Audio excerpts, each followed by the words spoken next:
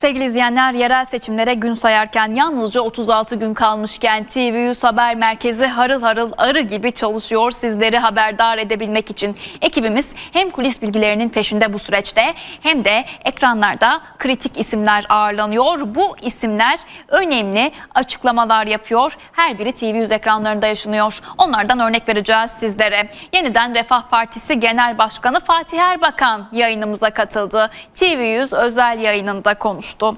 Erdoğan Aktaş, Gürkan Acır ve Başak Şengül'ün sorularını yanıtladı sevgili izleyenler. Fatih Erbakan partisinin %70 büyüdüğünü söyledi TV100 ekranlarında. Cumhur İttifakı'nın İstanbul adayını desteklediklerini söyleyen Erbakan bunun karşılığında iki ilçe başkanlığını istediklerini de ifade etti vardı o kadrolara. Üye sayımızı 260 binden 440 bine çıkardık dedi. %70 büyüdüklerini söyledi. İktidar Partisi'ne, belediye başkan adaylarına bir uyarıda bulunmak istiyoruz diyorlar. Yeniden Refah Partisi Genel Başkanı Fatih Erbakan yerel seçim öncesi TV100 özel yayınına katıldı. Gazeteci Erdoğan Aktaş, Gürkan Hacır ve Başak Şengül'ün sorularını yanıtladı. Biz Yeniden Refah Partisi olarak bu seçimi bir beka seçimi olarak görmüyoruz.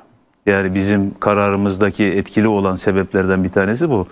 Yani bir belediye başkanının icraatları dolayısıyla efendim ülke elden gidiyor e, söylemini ortaya koymak mantıklı bir durum değil. Fatih Erbakan ittifak kararlarının ardından üye sayılarında ciddi bir artış olduğunu ifade etti. İttifakla ilgili kararımızı açıkladıktan sonra bugüne kadar yani 22 Şubat'a kadar 19 gün içerisinde üye sayımız 30 binin üzerinde artış gösterdi. 2 şu 3 Şubat'tan bu yana. 3 Şubat. Şubat'tan 22 Şubat 19 günde. 19, gün. 19 günde 30 bin demek bir ayda neredeyse 50 bin demektir. Bu bizim partimizin bir rekoru.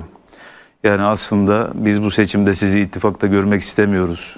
Kendiniz müstakil olarak girin ve biz de sizin adayınıza oy verelim diyen insanların aslında burada gerçekten de samimi olduğu ve bize teveccüh gösterdiklerini gösteren önemli bir gösterge. Erbakan, Cumhur İttifakı'nın İstanbul adayını desteklemeleri karşılığındaysa iki ilçeyi istediklerini söyledi. Bizim söylediğimiz İstanbul Büyükşehir Belediyesi'nde biz destek oluyorsak o zaman bize de İstanbul'da bir tane Anadolu yakasında bir tane Avrupa yakasında birer tane ilçe. Arnavutköy ve şey galiba değil mi Sultanbeyli? Onlar yani ismi çok önemli değil dedik biz. Ama bunlar telaffuz Ama edildi sanki. Yok zaten onlar peki verelim de siz de hangi ilçeleri istiyorsunuz deme noktasına gelmedikleri için ilçe isimleri çok şey yapılmadı. Ama siz...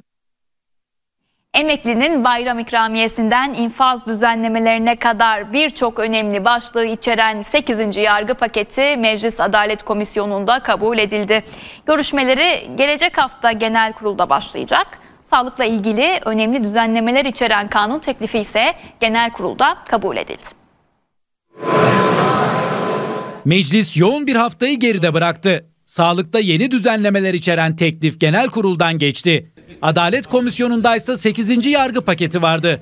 Görüşmeleri tamamlanan teklif haftaya genel kurula gelecek. Komisyon üyelerimizin yapacağı katkı Düzenlemeyle manevi tazminat talepleri artık Anayasa Mahkemesi'ne gitmeyecek. Başvuru Adalet Bakanlığı'na bağlı Tazminat Komisyonu'na yapılacak.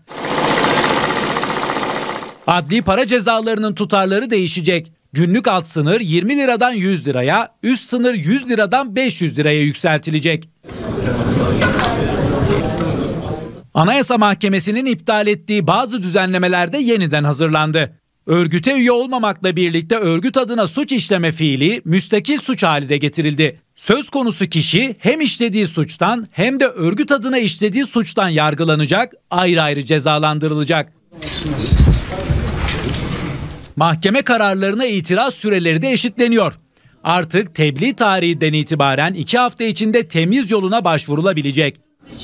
aynı kararlılıkla çalışmaya devam edeceğiz. Eklenen ek maddeyle emeklinin bayram ikramiyesi de artacak. 2000 liradan 3000 liraya çıkacak. Ramazan ve Kurban bayramlarında toplam 6 bin lira ödeme yapılacak. Bunu bir kere daha Sosyal medyadan hakarette artık uzlaşma şartı aranmayacak. Para cezası verilen dosyalarda cezasını ödeyen kişi hakkında dava açılmayacak. Geçtiğimiz hafta genel kurulda görüşülmeye başlanan sağlık alanında yeni düzenlemeler içeren kanun teklifi ise kabul edildi. Düzenleme ile sözleşmeli personel sayısı 27 binden 36 bine yükseltilecek.